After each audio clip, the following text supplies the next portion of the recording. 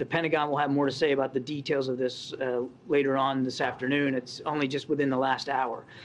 Uh, We're calling this an object because that's the best description we have right now. Uh, We do not know who owns it, uh, whether it's a, whether it's state-owned or, or or corporate-owned or privately owned. We just don't know. Uh, We don't, we don't know. As I said, state-owned. We don't know if it's state-owned.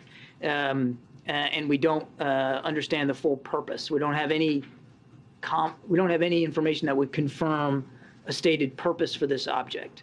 Um, We do expect to be able to recover uh, the debris, uh, since it fell not only within our territorial space, but on what we, what we uh, believe is, is frozen uh, water. So it, a recovery effort will be made, um, and uh, we're hopeful that it'll be successful, and then we can learn a little bit more about it.